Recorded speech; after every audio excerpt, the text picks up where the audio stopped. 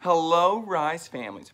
We are working together with Rise Youth to pray for every student going back to school this week. Pray with us as we lift up the next generation of leaders and world changers.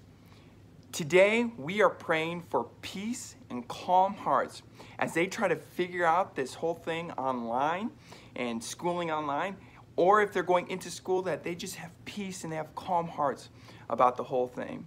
Uh, we can get started right now. So I'm going to go ahead and you guys can join in. You guys can pray at home too. Dear Jesus, I thank you, Lord. I just thank you for who you are. That when you are in my life, God, I can have a peace, I can have a calm heart that surpasses all understanding.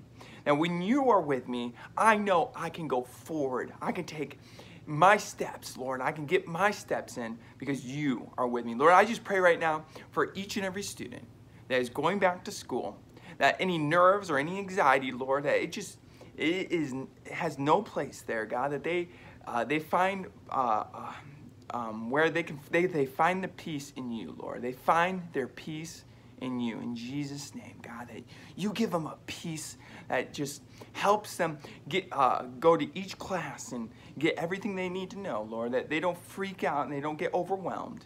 In Jesus' name. I just thank you, God, that this next school year, that your hand is upon it, Lord, that you keep us safe and protected with everything that's going on, Lord, that the, the, the teachers and the schools that make the right decisions for, for these students and, uh, and that they have peace about it. In Jesus' name, amen. Amen.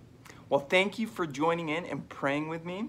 You guys will, uh, you guys can pray with us along this whole week. Make sure you stay tuned and keep an eye out.